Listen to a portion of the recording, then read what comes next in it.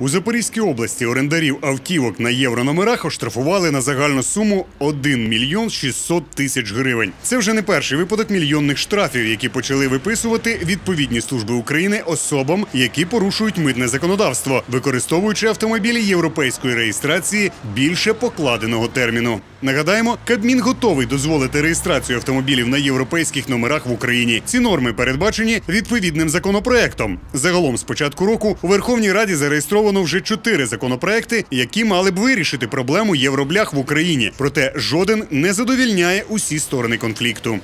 Ці машини визнати такими, що вони вже тут мають право експлуатуватися, не мають права їздити.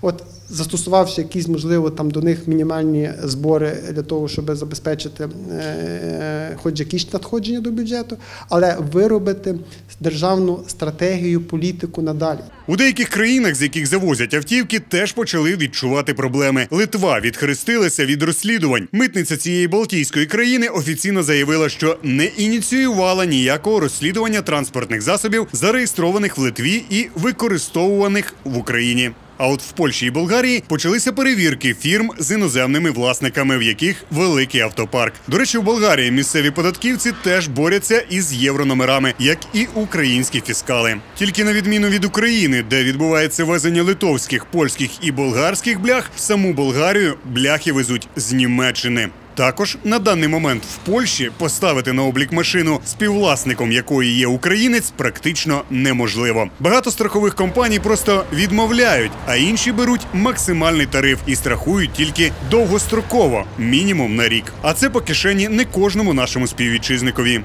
Німці неохоче передають свої автівки українцям через те, що усі транспортні засоби мають постійно перераховуватися. Якщо Україна надішле запит, то на власників очікують не лише великі штрафи, але й річне ув'язнення. Наявність страхового поліса для німців дуже важлива, тому такі жорсткі закони одна з причин того, що автівок з німецькою реєстрацією в Україні мало.